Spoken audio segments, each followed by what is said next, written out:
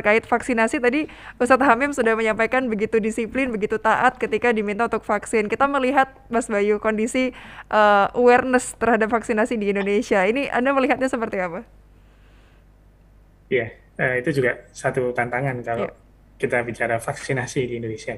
Karena sebelum COVID saja sudah ada kelompok-kelompok yang menolak vaksin, vaksin yang rutin diberikan, jadi imunisasi yang rutin itu saja sudah banyak yang menolak. Adalah kantong-kantong penolakan orang-orang yang memang menolak kelompok-kelompok tertentu. Nah, ketika COVID itu bertambah. Kenapa bertambah? Karena informasi yang ada yang beredar di Indonesia itu lemah kontrolnya dari pemerintah. Jadi pemerintah itu kalau bisa dibilang bukan sangat lemah ya, tapi ya lumayan lemah lah terkait, terkait dengan kontrol informasi yang beredar.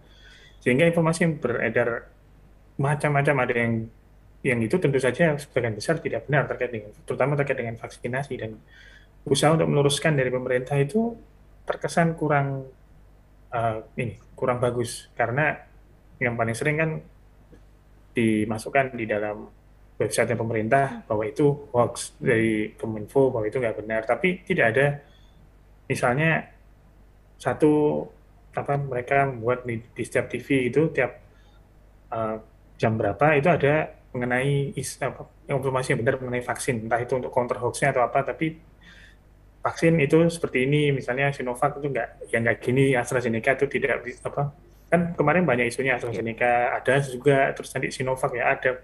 Jadi orang-orang itu bingung karena pemerintah ya tidak masif untuk mengcounter, padahal isu di sosial media itu sangat masif. Yang terjadi itu menyebabkan banyak orang ragu. Kemudian yang tidak mau ya naik juga yang ragu naik, yang yang dulu ragu jadi nggak mau, yang naik juga.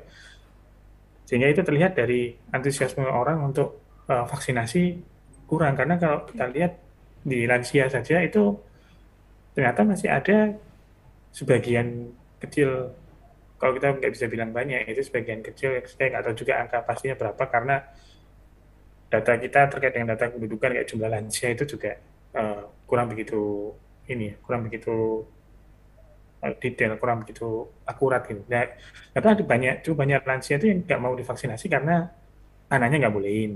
Mm-hmm. Ada juga ya kebalikannya, anaknya bolehin tapi orang tuanya takut karena terlalu banyak info beredar di WhatsApp yang uh, WhatsApp grup yang tidak uh, tidak jelas informasinya benar atau tidak.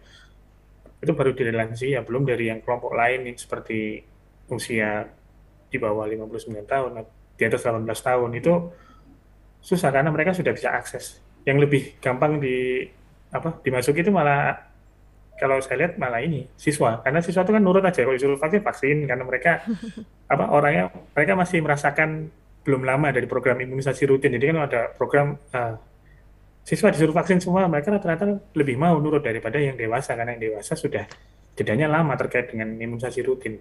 Dan mereka lebih banyak menerima konsumsi informasi.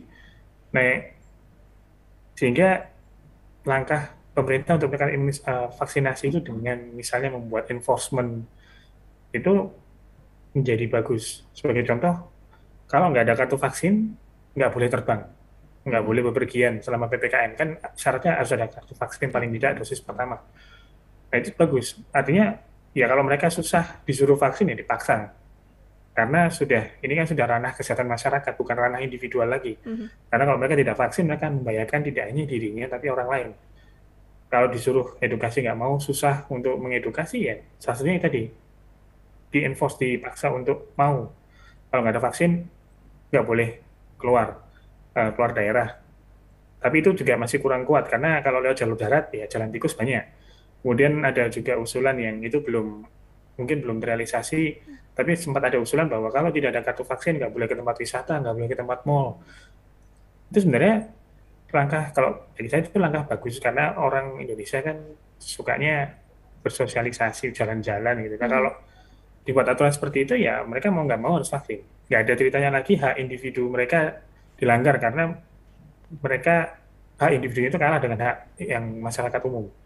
Ya otomatis mereka mau nggak mau ya harus itu dan itu langkah yang bagus hal-hal enforcement seperti itu untuk menekan vaksinasi bisa dilakukan seiring dengan edukasinya tetap jalan. Mm-hmm. Harapannya mas apa angka vaksinasi kita akan naik karena kita sudah stuck agak lama itu nggak naik-naik ke 30% dari 20% yang di coverage vaksinnya cakupan vaksinasi 20% tuh naik ke 30% ke 40% itu lama sekali. Memang ada juga uh, kendala di distribusi dosisnya, distribusi vaksinnya, tapi itu kan memang masalah yang kita nggak bisa, kadang susah untuk uh, mengatur walaupun memang hmm. harusnya di awal sudah ada di pol apa kayak SOP distribusi yang bagus, tapi sebenarnya uh, masih kurang juga karena itu kita lihat distribusi di daerahnya kan tidak merata, ada yang daerah suplainya lancar, ada yang daerah suplainya nggak lancar. Kemudian ya tapi itu nggak bisa di apa apa memang karena memang Indonesia baru bisa uh, apa ya, istilahnya memproduksi sebagian itu yang Sinovac, lainnya kan bergantung dari luar. Kalau supaya dari luar cuma dapat 5 juta ya mau diapain harus dibagi-bagi. Mm -hmm. Nah jadi yang bisa dilakukan sekarang ya untuk meningkatkan vaksinasi gimana caranya yang orangnya kalau sudah ada suplainya orangnya mau ya baik dari edukasi mau benar-benar secara sukarela atau mau karena dipaksa untuk sekarang nggak masalah. Yang penting cakupan vaksinasinya naik. Karena kalau kita lihat dari data yang ada dari negara-negara lain seperti uh, Amerika Serikat, terus United Kingdom, kemudian Portugal, beberapa negara Israel itu mereka kena varian Delta kasusnya naik. Mm-hmm. Tapi angka yang hospitalisasi, angka yang masuk rumah sakit dan meninggal itu tidak ikut naik tinggi. Jadi kalau dilihat tuh kurvanya tidak bercermin apa, kurvanya tidak diikuti peningkatan kasus, peningkatan kematian tuh enggak. Oh, Indonesia masih sama. Kasus naik, kematian akan naik. Kasus turun, kematiannya turun. Kasus naik, naik lagi. Jadi kayak dia mengikuti jumlah kasus naik, kematian naik. Nah, itu yang kita inginkan kalau apa kita ingin cegah dengan vaksinasi. Harapannya ketika sudah banyak 50-60% lebih, kasus memang nggak bisa di stop karena kita tahu orang susah untuk uh, mematuhi 5M yang tadi ya, iya. mobilitas segala macam itu susah sekali. Tapi paling tidak ketika kena nggak berat.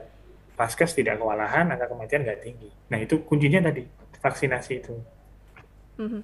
Baik, kuncinya vaksinasi pemirsa Mas Bayu, tapi kemudian yang jadi PR juga ketika sudah divaksin, kemudian ada yang bermudah-mudahan ya Mas Bayu ya, iya, bikin acara besar dan segala macam.